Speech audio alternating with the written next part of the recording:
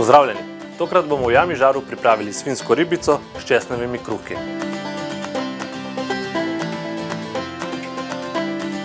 Svinsko ribico v kosu popečemo na direktnem ognju,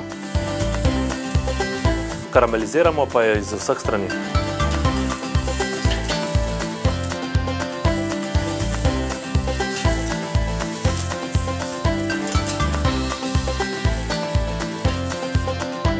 Ko je iz vseh strani lepo zapečena, jo prestavimo na indirekten ogenj, kjer jo pečemo do 56 ali 58 stopinj Celzija središčne temperature.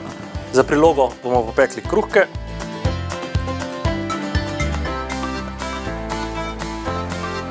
češnjeve paradižnike,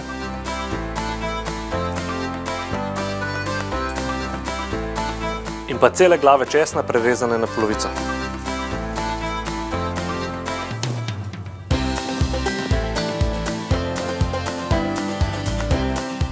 Kruh je pečen in hrustljav, zato ga lahko poberemo z žara.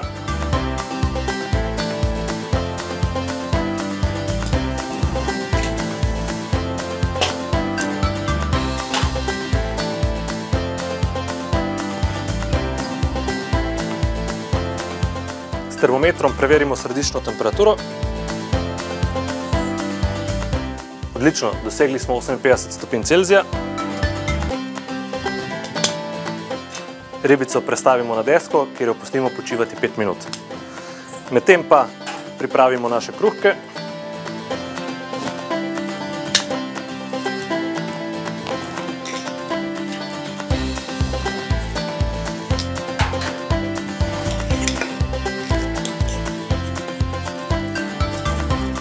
Dodamo malo olivnega olja.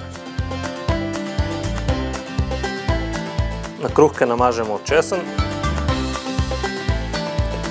Dodamo pečene paradižnike. In razrežemo svinsko ribico. Na koncu še posolimo z grobo soljo in serviramo. Svinska ribica s česnevimi kruhki je pripravljena. Naj vam tekne!